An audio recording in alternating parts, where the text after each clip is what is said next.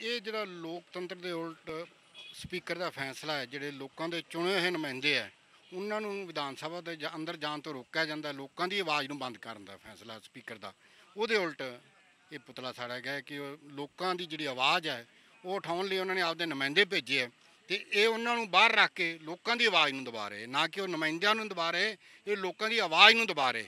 ਉਹਦੇ ਉਲਟ ਆਮ ਆਦਮੀ ਪਾਰਟੀ ਨੇ ਅੱਜ ਪੁਤਲੇ ਸਾੜੇ ਸਾਰੇ ਵਿਧਾਨ ਸਭਾ ਹਲਕਿਆਂ ਦੇ ਵਿੱਚ।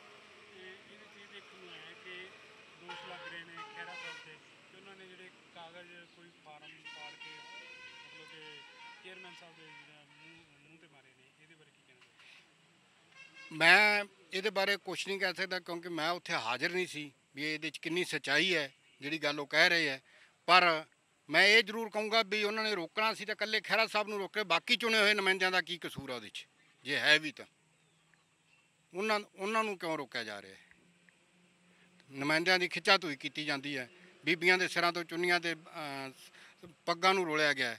ਇਸ ਤਰ੍ਹਾਂ ਦਾ ਪਹਿਲੀ ਵਾਰੀ ਹੋਇਆ ਹੈ ਕਿ ਇਹੋ ਜਿਹਾ ਵਿਵਹਾਰ ਹੋ ਰਿਹਾ ਹੈ ਚੁਣੇ ਹੋਏ ਨੁਮਾਇੰਦਿਆਂ ਦੇ ਨਾਲ।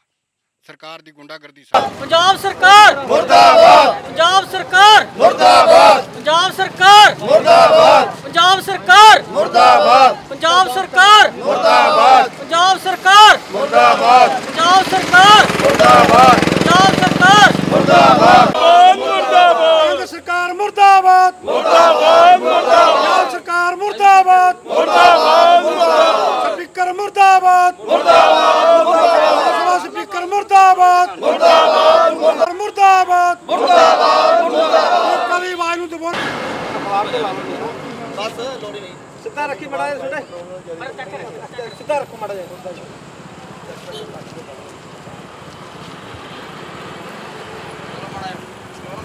ਪੰਜਾਬ ਸਰਕਾਰ ਮੁਰਦਾਬਾਦ ਪੰਜਾਬ ਸਰਕਾਰ ਮੁਰਦਾਬਾਦ ਪੰਜਾਬ ਸਰਕਾਰ ਸਮਣ ਖਿੱਚ ਕੇ ਰੱਖ ਪੰਜਾਬ ਸਰਕਾਰ। ਮੁਰਦਾਬਾਦ। ਪੰਜਾਬ ਸਰਕਾਰ। ਮੁਰਦਾਬਾਦ। ਪੰਜਾਬ ਸਰਕਾਰ। ਮੁਰਦਾਬਾਦ।